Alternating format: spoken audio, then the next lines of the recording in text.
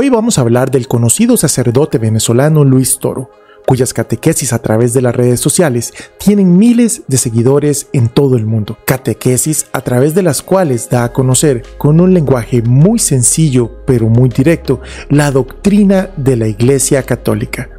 El padre Toro nació el 17 de septiembre de 1973 en un pequeño pueblo llamado Puerto Nuevo, en el estado de Táchira, al sureste de Venezuela, y es el sexto hijo de un total de ocho hermanos. Precisamente, el padre destaca la influencia de su familia cuando decidió seguir el llamado del Señor a la vida sacerdotal, pues siempre recibió un ejemplo de dedicación a Dios y al servicio social. La escuela de Biblia fue una idea del padre Toro para, a través de la ayuda de la tecnología y el Internet, llevar la palabra de Dios y la doctrina católica a todos los rincones del planeta, confrontando de manera directa y presencial a quien desee debatir sobre dogmas, creencias y enseñanzas de la Santa Iglesia Católica. Ahora vamos a ver momentos memorables del Padre Toro y su cruzada por el Evangelio. Trataré de explicárselo no para que usted lo crea, porque usted no viene a creer, usted viene a refutar al Padre Toro, pero usted no viene a creer. Pero la gente sí tiene que saber por qué. La Santa Madre Iglesia Católica enseña que tenemos que bautizar como mandó Jesucristo. El hermano me dice, en ninguna parte de la Biblia dice que se bautizó una persona en el nombre del Padre, del Hijo y del Espíritu Santo. Daniel, yo te bautizo en el nombre del Padre, del Hijo y del Espíritu Santo, eso no existe. Pero tampoco existe donde hay un pasaje de la Escritura que diga, Daniel, yo te bautizo en el nombre del Señor Jesús, o con el nombre del Señor Jesús. Eso tampoco existe. Una cita bíblica que me quema el coco últimamente y es primera de Timoteo capítulo 3.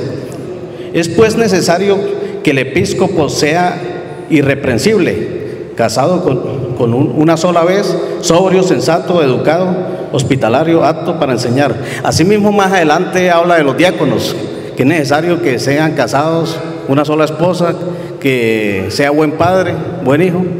Hay veces uno dice, ¿será que el clero sabe que tener esposa y los problemas del hogar y eso? Entonces, o no sé si es por cuidar los bienes de la iglesia. Ciertamente, ahí primera de Timoteo 3 lo dice. ¿Y qué está diciendo la Biblia? Está diciendo que todos tienen que ser casados. Usted dice, todos tienen que ser casados. Pero si usted lee Primera de Corintios, capítulo 7, el versículo 7, Mi deseo sería que todos los hombres fueran como yo. Está hablando San Pablo. ¿Usted sabe que San Pablo no se casó o sí sabe? ¿Sabe o no sabe que San Pablo no se casó? No se casó. Y San Pablo dice, mi deseo es que todos los hombres sean como yo. Mas cada cual tiene de Dios su gracia particular. Observa que, que hay varias gracias.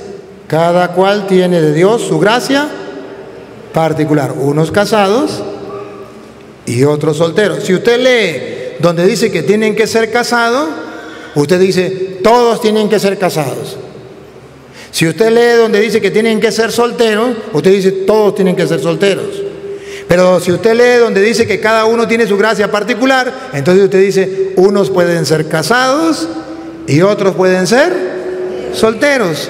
Y en la iglesia existen las dos cosas. En el occidente, en la parte de nosotros, los sacerdotes no nos casamos, pero en el oriente sí se casan. Por eso el protestante puede tener la imagen de su mamá. No está prohibiendo la imagen de los billetes, por eso los protestantes pueden tener billetes con imágenes, monedas con imágenes. No está prohibiendo esas imágenes. Pero tampoco está prohibiendo las imágenes de los santos. Está prohibiendo es de otro Dios, repítalo. No, te- no tendrás dioses ajenos delante de mí. La pregunta es esta, señor Toro. En una ocasión usted habló con, estaba dialogando con un pastor evangélico. Y él le preguntó a usted, ¿por qué Cristo no fue bautizado pequeño?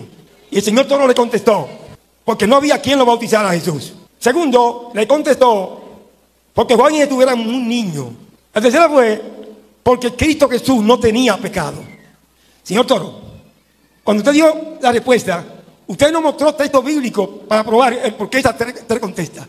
Usted puede mostrar, cuando usted dio esa respuesta, Usted no mostró texto bíblico para probar su respuesta. ¿Hay texto bíblico para, para probar su respuesta? Esa es la primera.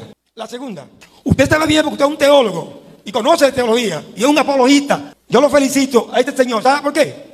Porque si hoy la iglesia hoy está estudiando, digo, si hoy la iglesia católica hoy está estudiando la Biblia, es por este señor.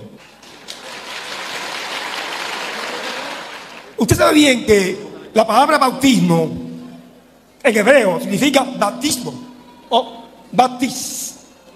Baptis en hebreo. En griego es baptimos o basmo. Y en latín es baptimus. Que las tres significan sumergir. Sumergir. La iglesia apostólica no parece que haya bautizado un bebé. Tal vez un niño. Un niño sí. Porque los niños piensan, actúan, caminan, hablan, exigen. Pero un bebé no tiene razón ni tiene tampoco decisión para decidir. Si bautismo significa sumergir, sumergir. ¿De dónde sacaron ustedes los niños para bautizarlos? Niños no, porque los niños pueden bautizarse. Los bebés para bautizarlos, si no tienen base bíblica. La primera respuesta está en San Lucas, capítulo 1, versículo 40 en adelante. Él me dice que donde está el texto bíblico, que Jesús no fue bautizado cuando niño, porque no existía quien lo bautizara, pues Juan tenía seis meses de nacido y no había quien lo bautizara. El texto está en San Lucas 1, eh, 40. En aquellos días, levantándose María, fue deprisa a la montaña, a una ciudad de Judá, y entró en casa de Zacarías y saludó a Elizabeth. Y aconteció que cuando oyó Elizabeth la salutación de María, la criatura saltó en su vientre, y Elizabeth fue llena del Espíritu Santo, y exclamó con gran voz, y dijo, bendita tú entre las mujeres, y bendito el fruto de tu vientre. Aquí dice que Isabel estaba embarazada cuando la Virgen María fue a visitarla. De modo que la Virgen María estaba embarazada ya. Y Isabel quedó llena del Espíritu Santo y el niño saltó en el vientre. El niño era Juan, el Bautista. Y se llama Bautista porque era el que comenzó a bautizar. La segunda, él me dice que si yo no sé que bautismo significa sumergirse. Sí lo sé. Y entonces, ¿por qué no sumergimos? Porque es que el Evangelio de San Marcos, capítulo 1, versículo 8, San Juan dice que bautismo ciertamente es sumergirse, pero que hay dos maneras de sumergirse. Una, sumergirse en el agua. Y ese era el bautismo de Juan, así lo hacía Juan. Y otro, no sumergirse en el agua, sino sumergirse en el Espíritu Santo. Y así lo hacía Cristo. ¿Qué significa bautismo? Vamos a ver entonces por qué no nos sumergimos en el agua. Marcos 1, 8. Yo a la verdad os he bautizado. ¿Qué significa bautismo? Juan dice, yo los he sumergido. Quiten la palabra bautismo. Donde está la palabra bautismo, hay que entender que es sumergirse. Yo a la verdad los he sumergido con agua. con agua, en el agua. Ahora vamos a ver dónde nos va a sumergir Cristo. Quiten la palabra bautismo. Vamos a poner sumergirte. Pero él, Pero él, bautismo significa sumergirse. Él los va a sumergir pero él os va a sumergir con Espíritu Santo.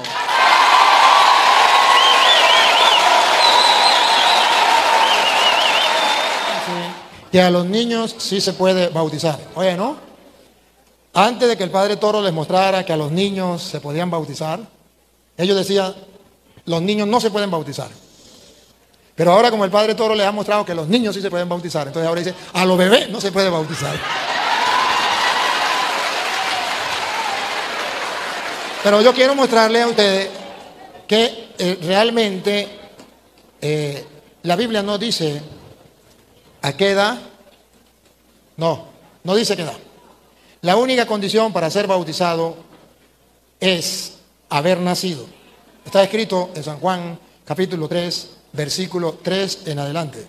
La única condición, no dice qué edad. Puede ser que usted tenga 100 años, puede ser que usted tenga 50, puede ser que usted tenga 30, puede ser que usted tenga 5, puede ser que usted tenga 2, puede ser que usted tenga 1, puede ser que usted tenga un día de nacido. La única condición para usted nacer del agua y del espíritu es que haya nacido.